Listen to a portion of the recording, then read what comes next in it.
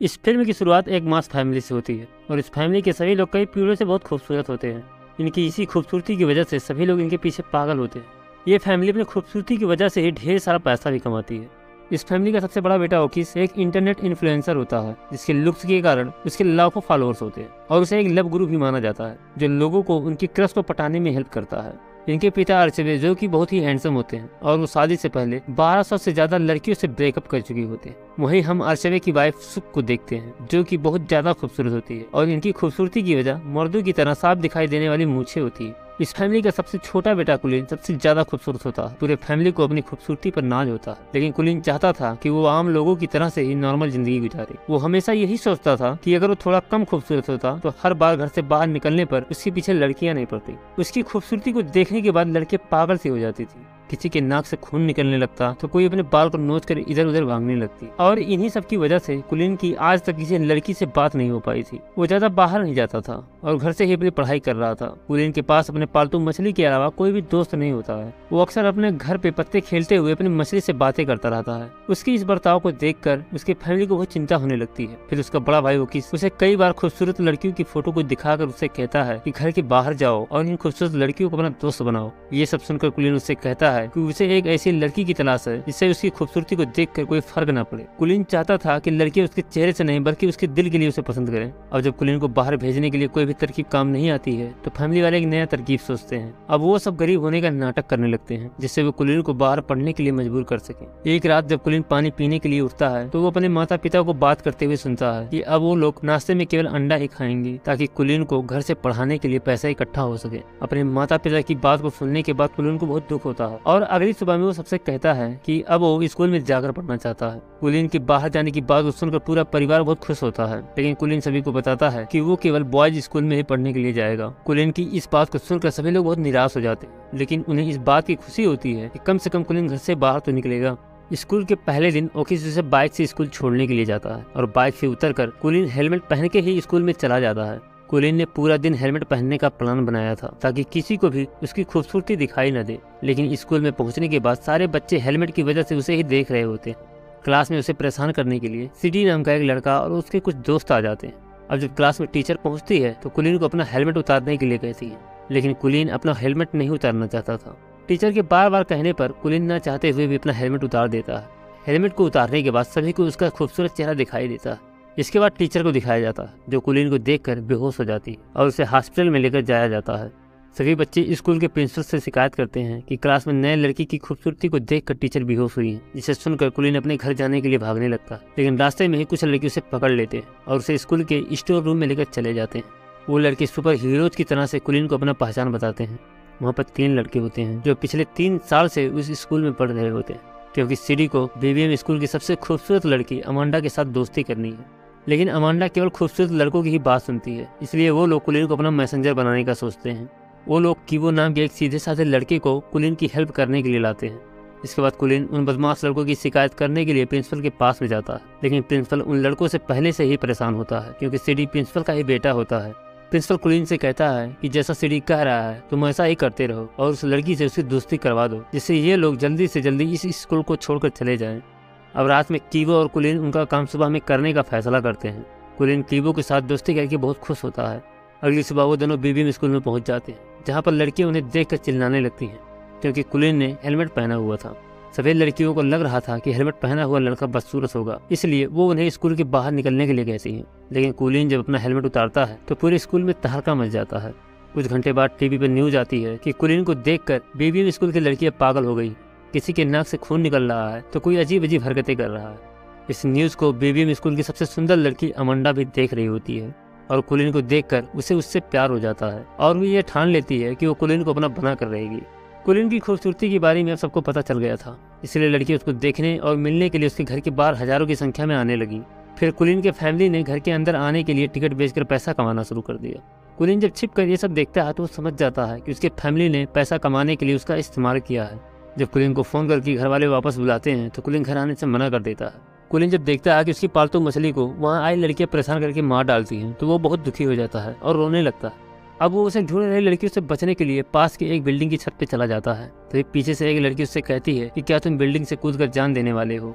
कुलीन जब पीछे मुड़ कर देखता है तो उस लड़की को कुलीन की खूबसूरती देखकर कोई भी फ़र्क नहीं पड़ता है। और कुलीन ये देखकर हैरान होता है, क्योंकि ये पहली लड़की होती है जिसे कुलीन की खूबसूरती का कोई असर नहीं होता है। इस लड़की को देखकर कुलीन के दिल की धड़कन बढ़ने लगती है और वो इस लड़की से बात करने के लिए आगे बढ़ता है, लेकिन वो लड़की उससे बात नहीं करना चाहती थी, इसलिए वो वहाँ से उठकर चली जाती है। इसके बाद कुलीन रात गुजारने के लिए कीवो के घर पे जाता है, जहाँ कीवो और उसकी दादी उसका बहुत ख्याल रखती है, और वो कुलीन से कहते हैं कि वो जब तक चाहे यहाँ पर रह सकता है।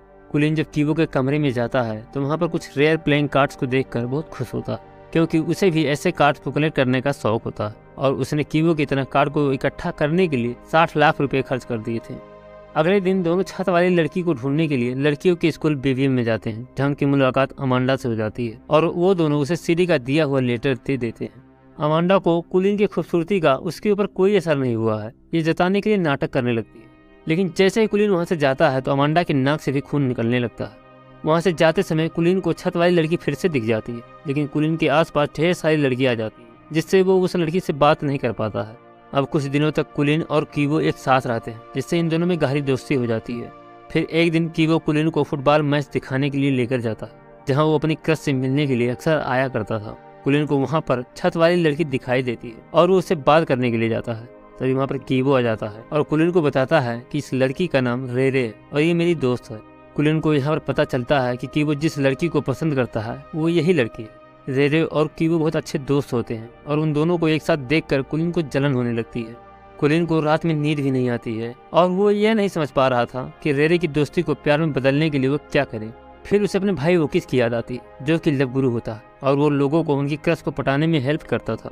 अब कुलीन ओकिस से मिलने के लिए जाता है। और ओकिस कुलीन को अपने सामने देखकर बहुत खुश होता है, क्योंकि कुलीन कई दिनों से घर पर नहीं गया था। और ओकिस कब से कुलीन की लड़कियों से बात करवाने के बारे में सोच रहा था। कुलीन अब अपने पूरे फैमिली को भी माफ़ कर देता है, क्योंकि अगर वो बाहर ना निकला होता तो उसकी रेरे से मुलाकात भी नहीं हो पाती। अब ओकिस और कुलीन को सामान लेने के लिए जाते जहाँ ओकिस कुलीन को रेरे को पटाने की तरकीब के बारे में बताता है। फिर कुलिन ओकिस के बताने के हिसाब से रेरे से बात करने के लिए जाता है, लेकिन रेरे से बात करते समय उसे एहसास होता है कि वो रेरो को उतना नहीं जानता जितना कि कीवो से जानता है। कुलिन ये सब जानने के बाद भी हार नहीं मानता है और रेरे को अपना बनाने की कोशिश करते रहता है। एक दिन कुलीन के स्कूल में अमांडा आती है और कुलिन को अपने जन्मदिन के पार्टी में आने के लिए कार्ड देती है और साथ ही उसे एक फ़ोन देकर कहती है कि अब से तुम मुझसे इससे ही बात करना। अब शाम को कुलीन कीवो और रेरे घूमने के लिए जाते हैं। जहाँ कुलीन ये समझ जाता है कि रेरे भी कीबो को पसंद करती है, और ये देखकर कुलीन को कीबो से जलन होने लगती है। कुछ देर के बाद जब कीबो वहाँ से चला जाता है तो कुलीन रेरे से पूछता है कि क्या तुम कीबो को पसंद करती हो? रेरे उसे कुछ भी नहीं कहती है, जिससे कुलीन उससे झूठ बोल देता है कि कीबो तो अमांडा से प्यार करता है। ये सुनकर रेरे का चेहरा एक दिन से उतर जाता है, और रेरे का चेहरा देखकर कुलीन समझ जाता है कि रेरे भी कीबो को पसंद करती है। अब घर लौटकर रात में कुलीन अमांडा को फ़ोन करके उससे कुछ मदद माँगता है और अमांडा तो कुलीन के प्यार में कुछ भी करने को तैयार थी। अब अगले दिन अमांडा के बर्थडे पर जब कुलीन और कीबो उसके घर पहुँचते हैं तो अमांडा कुलीन को छोड़कर केवल कीबो पर ध्यान देने लगती है। अमांडा कीबो को लेकर एक किनारे पे जाती, तभी वहाँ पर रेरे आ जाती है। रेरे को देखकर अमांडा कीबो को किस करने लगती है। रेरे जब उन दोनों को किस करते हुए देखती है तो उसे बहुत बुरा लगता है और वो वहाँ से जाने लगती है। वहाँ कीबो और अमांडा को किस करते हुए सीढ़ी और उसके फ्रेंड भी देख लेते हैं। अब रेरे के पीछे पीछे कुलीन भी जाता है और उसे बहुत समझाता है। वो उससे बताता है कि उसे बहुत प्यार करता है। लेकिन रेरे उसको बताती है कि वो कुलीन को केवल अपना दोस्त ही मानती है, फिर वो वहाँ से चली जाती है। यानी कि कुलीन ने रेरे के लिए अपने सबसे अच्छे दोस्त को धोखा दिया और उसे रेरे भी नहीं मिल सकी। उधर सिटी और उसके दोस्त कीवो को बहुत मारते हैं, क्योंकि उन्होंने कीबो और अमांडा को किस करते हुए देख लिया था। कुलीन कुछ दूर खड़ा कीवो को पिटता हुआ देख रहा था, लेकिन उसे कीवो को बचाने की हिम्मत नहीं हो रही थी। सीडी और उसके दोस्तों के जाने के बाद वो कीवो को घर पे लेकर आ जाता और कीवो को दर्द में देखकर उसे अपनी गलती का एहसास होता। फिर कुलिन कीवो को सारी बातें बता देता। है सारी बातें जानने के बाद कीवो कुलीन से बहुत नाराज़ होता है और कहता है कि मुझे अगर पहले ही पता होता कि तुम रेरे को चाहते हो तो मैं खुद ही पीछे हट जाता। वो कुलीन के दिए हुए धोखे से बहुत दुखी होता है और अब वो कुलीन के साथ नहीं रहना चाहता था। इसके बाद कुलीन एक महीने बाद अपने घर लौटता है और बिना किसी से बात किए हुए अपने कमरे में चला जाता है। उसे अपने दोस्त कीवो की बहुत याद आती थी और उसकी माँ ने उसकी पालतू मछली को भी उसे दे दिया, जो कि मरी नहीं थी। उसे अपनी माँ की बात को सुनने के बाद पता चलता है कि वो लोग उसे कितना प्यार करते हैं। कुलीन अब यह फैसला करता है कि वो किसी भी कीमत पर कीबो को मनाएगा। अगली सुबह कुलीन रेरे के पास में जाता है और उसे सब कुछ सच सच बता देता है। इसके बाद वो कीबो के पास जाता है और उससे माफ़ी मांगने लगता है। कीवो कुलीन के धोखा देने की वजह से बहुत दुखी होता है और वो कुलीन से बात नहीं करना चाहता था। लेकिन कुलीन किसी तरह से उससे बात करता है और उससे रेरे के बारे में पूछने लगता है। कीवो उसे बताता है कि वो रेरे को बहुत चाहता है और कीवो की बात को रेरे भी फ़ोन पर सुन रही होती है। अब इन तीनों के बीच की गलत दूर हो चुकी थी। फिर कुछ दिन बाद ये लोग एक डांस पार्टी में जाते हैं, जहाँ कीवो की पार्टनर रेरे और कुलिन की पार्टनर अमांडा होती। पार्टी में अमांडा और कुलिन को डांस का किंग और क्वीन का प्राइज मिलता। है यहाँ पर सभी लड़कियाँ कुलिन को देखकर उससे इम्प्रेस हो रही होती कि तभी एक लड़की की आवाज़ आती, जो कहती है कि ये इतना सुंदर भी नहीं है। उस लड़की की आवाज़ को सुनने के बाद कुलीन का दिल एक बार फिर से धड़कने लगता है और उसकी नज़रें उस अनजान लड़की को ढूँढने लगती और यहीं पर इस फ़िल्म की कहानी खत्म हो जाती है। दोस्तों, ये वीडियो अगर आपको पसंद आई हो तो वीडियो को लाइक करें, कमेंट करें, शेयर करें और चैनल को सब्सक्राइब करें।